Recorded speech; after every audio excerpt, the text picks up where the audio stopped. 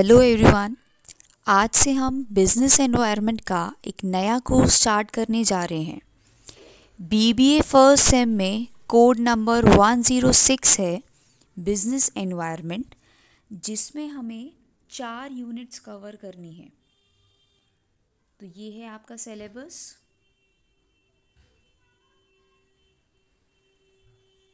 Start करते हैं एक ब्रीफ इंट्रोडक्शन से। पहले हम ये समझने की कोशिश करते हैं कि बिज़नेस क्या है। एक ऐसी एक्टिविटी जहाँ पर प्रोडक्शन और कंजम्पशन एक्टिविटीज़ लगातार होती हैं और इन एक्टिविटीज़ के होने का मकसद है प्रॉफिट अर्न करना।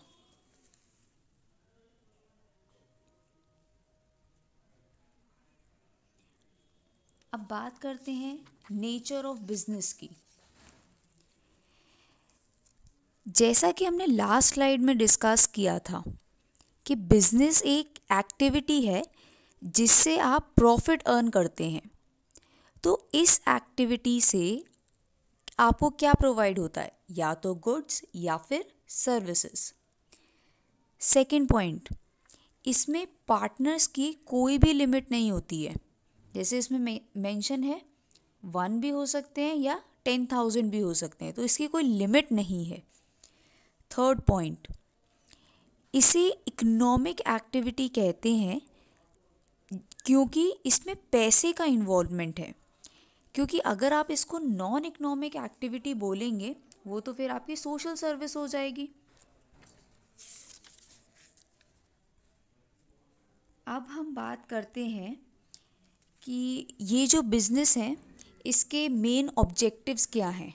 क्या मेन मकसद है? इससे पहले देखिए इसमें जैसे आपको इकोनॉमिक या नॉन इकोनॉमिक एक्टिविटी का एग्ज़ाम्पल भी दे रखा है कि रनिंग अ रेस्टोरेंट ये क्या हो गया आपके लिए? एक इकोनॉमिक एक्टिविटी हो गई और हाउस वाइफ कुकिंग ये नॉन इकोनॉमिक एक्टिविटी हो गई। क्योंकि आप इसमें पैसे का इन्वॉल्वमेंट नहीं है, इसमें प्रॉफिट का इन्वॉल्वमेंट नहीं है नॉन इकोनॉमिक एक्टिविटी में। अब बात करते हैं इसके ऑब्जेक्टिव्स की। फ़र्स्ट इज़ मेन ऑब्जेक्टिव देखिए बिज़नेस का क्या है कि हमें प्रॉफिट अर्न करना है। यही आपका मेन मकसद रहता है, इसीलिए हम बिज़नेस करना चाहते हैं। Second is growth. देखो, हर एक बिज़नेस जो है, आगे बढ़ना चाहता है, अपने काम को बढ़ाना चाहता है, और लॉन्ग टर्म सर्वाइवल में विश्वास रखता है। थर्ड इज़ कस्टमर सेटिस्फैक्शन आजकल हर बिज़नेस पहले कस्टमर से फीडबैक लेता है और उसी हिसाब से अपने बिज़नेस में जितने भी प्रोडक्ट्स लेकर आने हैं, उनको अपग्रेड भी करता है। फोर्थ पॉइंट है आपका एम्प्लॉय सेटिस्फैक्शन जो भी लोग काम कर रहे हैं, अगर उन्हें सैलरी के अलावा कुछ अलग से फैसिलिटीज़ मिलती हैं तो इम्प्लॉई जो है खुद ब खुद सेटिस्फाइड रहेगा और ज़्यादा अच्छे से परफॉर्म करना चाहेगा। फिफ्थ पॉइंट है क्वालिटी प्रोडक्ट्स एंड सर्विसेज़ आजकल जो बिज़नेस है क्वांटिटी पर फोकस नहीं करता, बल्कि किस पे फोकस करता है? क्वालिटी पर। Six point is market leadership market share को ज़्यादा से ज़्यादा बढ़ाना। लीडर का या लीडरशिप का एक बहुत इंपॉर्टेंट पार्ट माना गया है।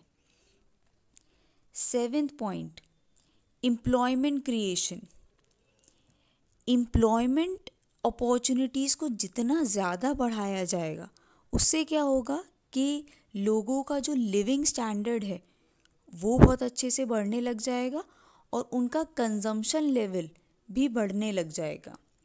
Last is service to society जिस सोसाइटी ने आपको रिसोर्सेज दिए हैं, अब आपकी भी तो उतनी ही रिस्पॉन्सिबिलिटी बनती है कि उन्हें भी रिवर्ट बैक करें।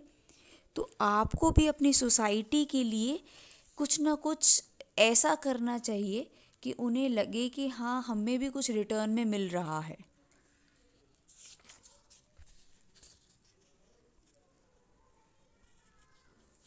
अब लास्ट में बिज़नेस एनवायरनमेंट का एक बहुत छोटा सा ब्रीफ इन्फो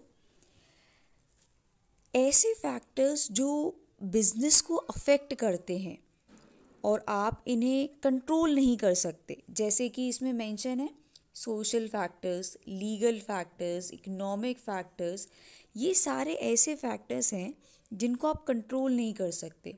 तो ये सभी बिज़नेस एनवायरनमेंट का पार्ट बनते हैं। अब इसको हम बहुत अच्छे तरीके से नेक्स्ट वीडियो में डिस्कस करेंगे. Thank you so much